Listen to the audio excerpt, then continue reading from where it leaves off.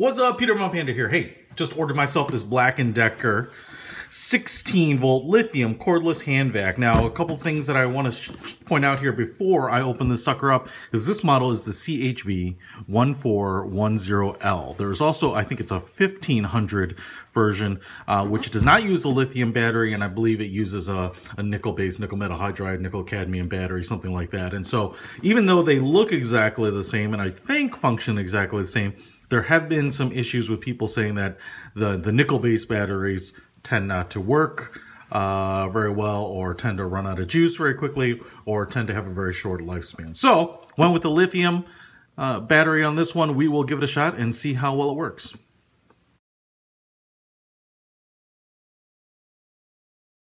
All right, so got the thing unboxed here and took a little look around. The cool thing is there's there's a charging base, and it's kind of like those uh, hot water chargers. It looks like it should just fit, sits anywhere on there, and the little blue light on the, the LED uh, opening here blinks blue while it's charging. Pretty nice, small, compact size. It's fairly light, um, three or four pounds possibly.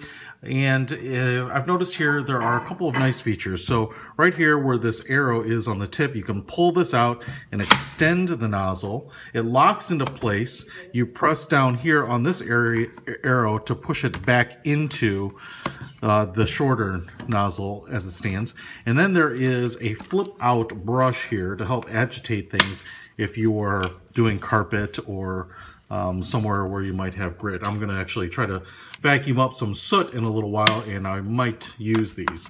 Then you press these buttons on the side to get the hose portion off. There is the vent where it kind of circulates, pushes the, as it vacuums in, the air and the debris goes to the side here.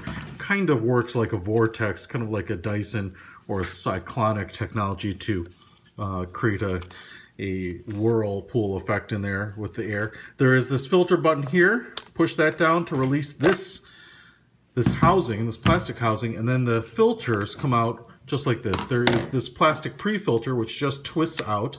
I noticed in the instructions it says don't throw this away because you can just rinse it and use it. And then there is a paper filter on top of this which is going to catch your really fine stuff. So this just twists back into place here you just set this back into the plastic housing like that, fits in nicely, and then you slide this back in and there's a little hook here that snaps into place right there. Put your housing back on, you gotta see both tabs click into place just like that, and then your power button is right there. You fire's on, good suction on this end, and exhaust comes out this end.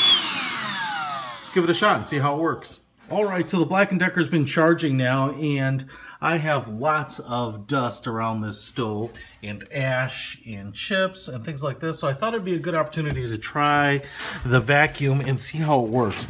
Um, and in some places I have charcoal on stone, and I didn't want to wipe it up with a wet cloth and kind of grind it in. So let's give it a shot and see how this thing works fire it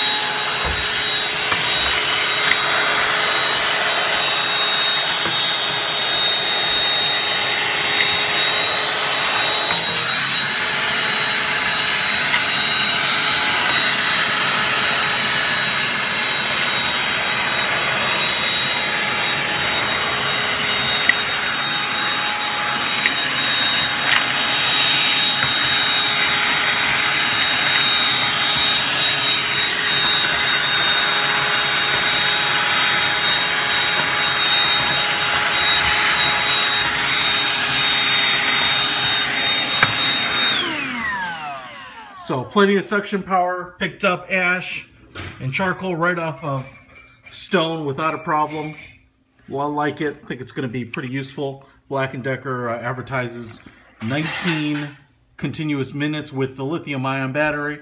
So definitely check it out. Good value for the money, about 50 bucks and as good as any of the other products I've seen on there. And you can see all the stuff collects right there. Easy to dump out. Peter Von Panda for the Black & Decker hand vac. Out!